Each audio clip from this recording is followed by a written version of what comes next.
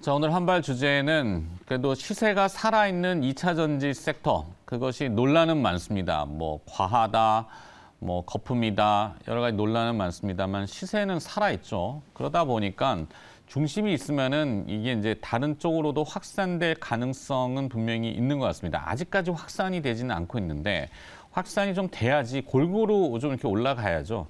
예, 키 높이를 맞춘다, 뭐 눈높이를 맞춘다 이런 얘기들을 시장 전문가들은 쓰시던데 조금 그래서 이제 하나의 반도체와 이제 OLED 최근에 좀 반짝거리다가 다시 조용한데 오늘은 다시 OLED 쪽 그래서 더욱 더 선명한 것을 원하는 시장 음, 선명도죠 화질 어, 이거를 위해서는 국내 이제 OLED와 관련된 대규모 투자 얘기들이 계속 나올 겁니다. 이번 주에도 아마 나올 것 같은데 어, 지금 삼성 디스플레이가 IT용 OLED에 4조 원 정도 투자 얘기를 하죠.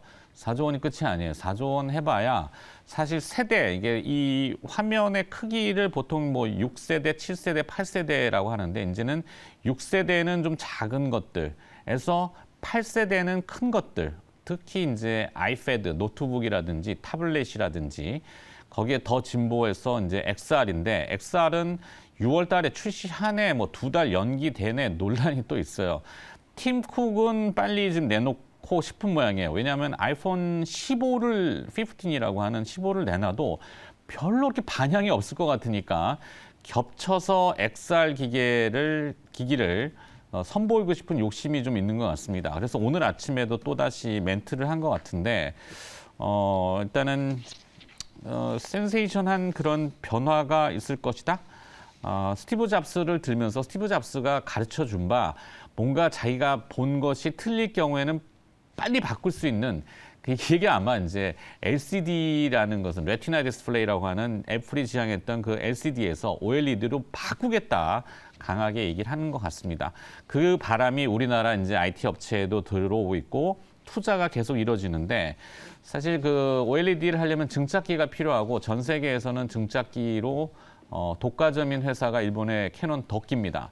도끼의 6세대 OLED 증착기는 대당 한 2천억 정도 하는데 8세대로 넘어가면 은 한 7배 정도 뛸 거예요. 1조 원이 넘는 걸 6, 7천억까지 해서 어, 정확한 가격은 제가 모르겠는데 하여튼 굉장히 높아지는 걸로 봐서 예를 들어서 6, 7천억이라고 쳤을 때 그러면 4조 원 투자해가지고 캐논 토키 증착장비 몇 대 사오겠어요? 몇 대 못 사오죠. 국내에도 증착기 하는 데가 있죠. 소형 증착기인 선익 시스템이 있는데 자, 같이 병행을 할 거라고 보고 애플이 이제 수억 대씩을 이제 디바이스를 팔기 시작하면은 뭐 늘어나는 거는 이게 기하급수적이죠. 그러니까 혼자 감당 못 합니다. 자, 삼성이 그래서 움직이는 것 같고 뭐 LG도 어떻게든지 움직이겠죠. 뭐 국내 투자 안 한다고 하지만 나중에는 하지 않을까 싶긴 한데 얘기가 길어집니다만.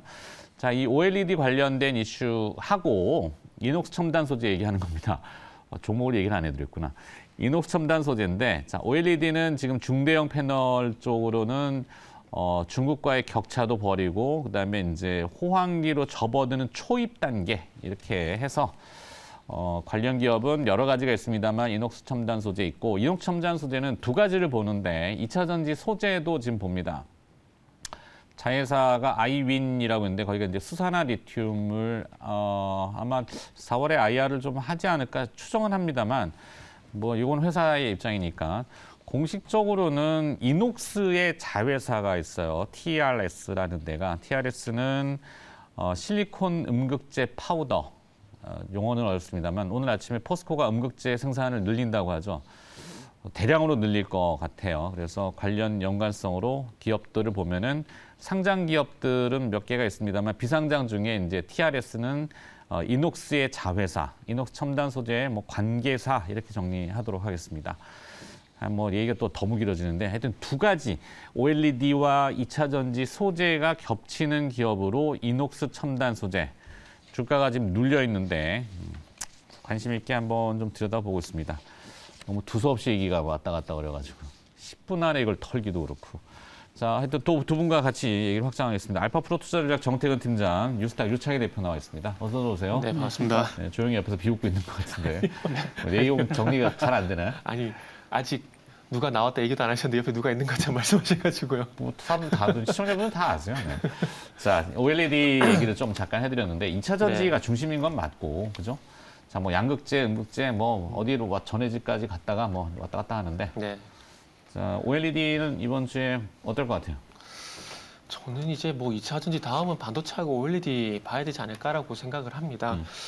일단은 전향적으로 이제 정책이 나오고 있고 그리고 뭐 LG 디스플레이, 삼성 디스플레이 전향적으로 공격적으로 투자를 하는데 음. 단순히 투자를 한다라기보다는 일단 선단 공격적으로 투자가 진행이 된다라는 것들이죠. 그리고 그러다 보니까 이녹스 첨단 소재 같은 기업들이 좀 들썩인다 좀 봐야 될 거고 저는 개인적으로 이제 이녹스 첨단 소재는 2월 달부터 지금 주가가 지금 이제 반응을 좀 하고 있다 좀 보고 있는데 이 회사는 뭐 방금 설명 잘 해주셨는데 뭐 2차 전지, OLED 소재 이뿐만 아니라 반도체 쪽 같은 경우도 마찬가지로 PKG 소재를 현재 공급을 하고 있는 상황이기 때문에 지금 삼성이란지 그러니까 반도체란지 OLED 쪽에서 하는 사업들은 뭐 다 수혜가 되는 기업이라고 볼 수가 있을 것 같습니다. 그리고 물론 뭐 대표적으로는 덕산 계열도 얘기를 많이 네네. 하겠죠. 음. 그렇죠. OLED 소재 특히나 그 dopant 같은 것들은 어, 아무래도 덕산 네오룩스가 국내에 좀 유일한 부분들이 있기 때문에 뭐 그럴 수밖에 없을 것뭐 같습니다. HB 테크놀로지 이런 네. 데도 뭐, 어, 뭐 자꾸 말 끊어서 그래요.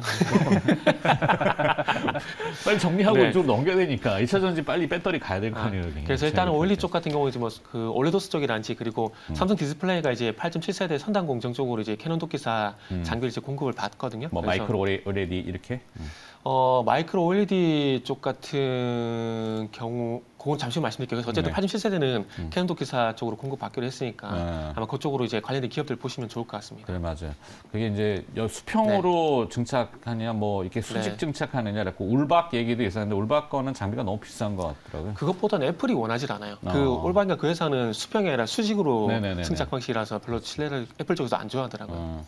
오 애플이랑 통화를 하셨어요? 네? 대단한 사람이에요. 자 2차 전지는 오늘도 뜨거울까요?